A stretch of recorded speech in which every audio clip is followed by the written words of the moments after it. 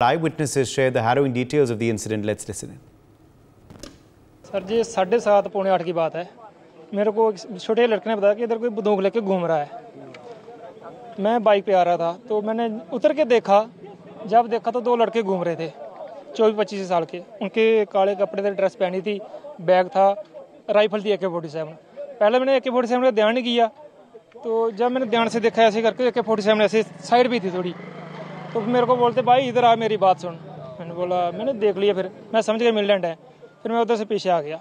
मेरे को बोले, भाई, बात तो सुन मुझको पानी पिला दे, प्यास लगी है, बात तो सुन ले, मैं आ गया। मैं थोड़ी दूर चौंक था वहाँ पे। बच्चे खेल रहे थे वहाँ पे। फिर मैंने उनको ज़ोर से चलाया भाई बच्चों, अंदर बढ़ जाओ, घुस जाओ। मिलडेंट आ गए हैं। बस। वो दो मिनट का फासला पड़ा, लोग अंदर घुस गए, भागे, जब पता चला, दुकानें बंद करवा दी, गाड़ी वाले बंद करवा दी, जो इधर से जा रहे थे। मैं भाग आ गया, आगे भाग आया। फिर दो मिनट बाद उन्होंने उधर फायरिंग शुरू कर दी।